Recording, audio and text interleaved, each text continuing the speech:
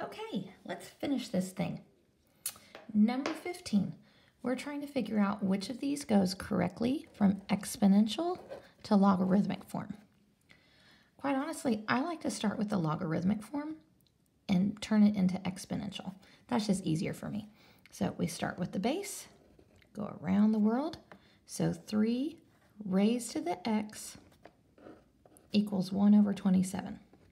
And then I look to see if that's what this said. And it didn't. So A is not the answer. Okay, I try it with B. 4 raised to the x equals 0.2. And then I see if that's what this said. And it doesn't, so it's not B. Okay, C, I start with 5, raise it to the x, and that should equal 25. And that's exactly what that says. So C is my winner. Okay, number 16. We're solving. Okay, so if we only see log one time or natural log one time, then we rewrite it in exponential form, like we were practicing up here. So we start with the base, raise it to the negative 1, and then that will equal x. So it's like going around the world.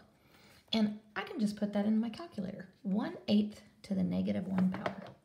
So I'm going to go ahead and do alpha y equals, enter, 1 on top, 8 on bottom, and I raise it to the negative 1. And that is 8. So 8 is my answer. So if you see log one time or natural log one time, then write it in exponential form. Go around the world. Base to the power equals the number. Okay, 17. It's telling us to use log base 5 of 2 and log base 5 of 3 to approximate this, but we don't need to do that.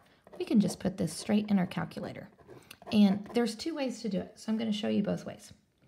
Okay, so one way to do this is to go to math and then you can arrow down and it's this one right here. It's uh, choice A. Now, the other way you can do it is alpha window, alpha window, and then it's number five. So it doesn't matter which way you do it, both of them will pop up the same thing, but five's my base, so I type in the five, and then I type in the 12 and it says round to four decimal places. So 1.54, oh, look what's gonna happen. That fourth number, that nine, is gonna round to 10 because it's a five or higher behind it. So that means that three will also round up. So four, zero. That one was a little tricky for the rounding.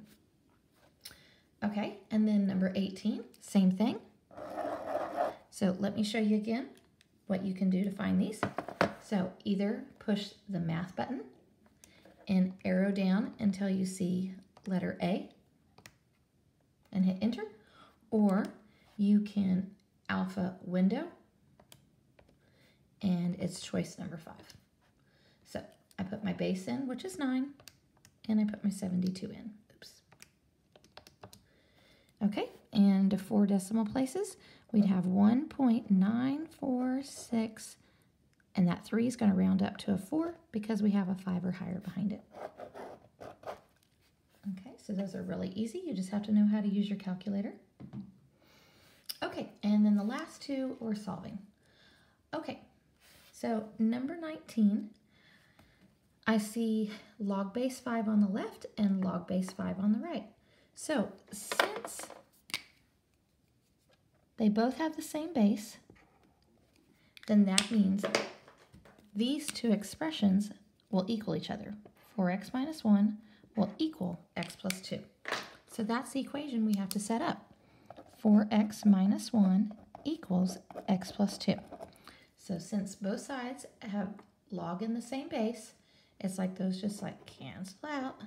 And then you just set the 4x minus 1 equal to x plus 2. And this one's easy. We just need to get x's on the same side. So I'm going to move this positive x by subtracting it. This zeroes out. 4x minus x makes 3x. Bring down the minus 1. And then I'm going to bring down my 2. And then to get rid of subtraction of 1, I'm going to add 1. 2 plus 1 is 3. And when I divide, I get 1. Okay, the only thing I want to check out is to make sure that when I plug my 1 in, that I don't get 0 or anything negative. So 4 times 1 is 4. 4 minus 1 is 3. So this made a 3. And that's not 0 or um, less than, so that's good. And then I'm going to plug my 1 into this x also. And 1 plus 2 is 3. So it works. Both sides are the same, which is what we want. And neither of them gave us 0 or a negative number. And the reason we're not doing the number line is because this is not an inequality symbol. If that was an inequality symbol, a less than, a greater than, less than or equal, greater than or equal, we'd have to do the number line like we did at the very beginning. Okay, and last problem, number 12, or 20, sorry. Okay, so when you see log more than once on one side of the equals, you need to condense it so you only see log once.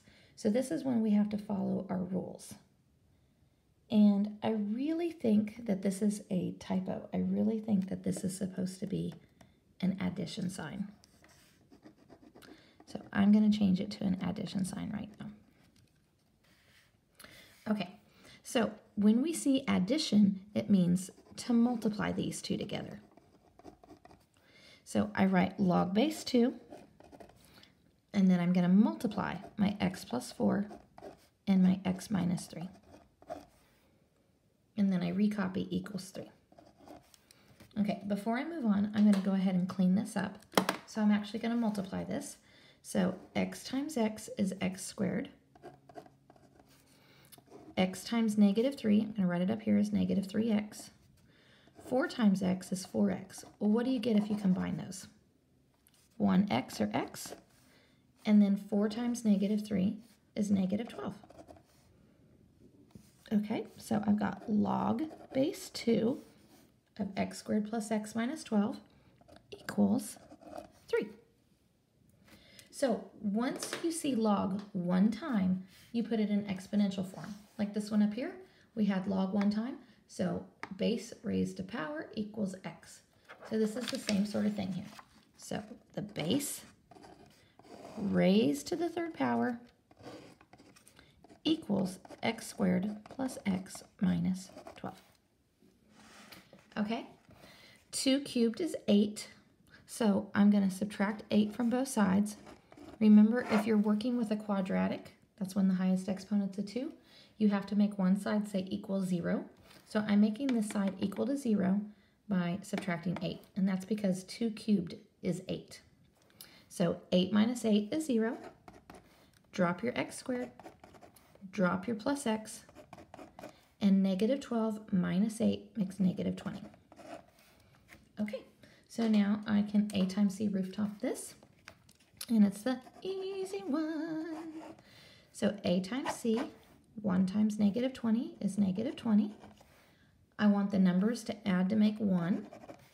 And do you know what multiplies to make negative 20 and adds to make 1? 5 and negative 4. So one parenthesis will be x with a plus 5, and the other set of parentheses will be x with a minus 4. And then I have to solve. So if you set x plus 5 equal to 0, what would you get if you solved that equation? Negative 5, because you'd subtract 5. And what would you get if you set x minus 4 equal to 0 and solve that equation? positive 4 because you would add 4. Okay, now we just have to make sure that when we plug them back in that we don't get a negative or 0 in our um, expression after the base. Okay, so if I plug negative 5 right here, what's negative 5 plus 4? Negative 1. Uh-uh, that's a negative number. Can't have that. So now let's try the 4. So if I put 4 in here, 4 plus 4 is 8. That's fine. And if I put 4 here, 4 minus 3 is 1. That's fine. It didn't give me any negatives or 0. So 4 is our answer. And that's it. That's the end of our Unit 10 review. Smiley face. Good luck on your test.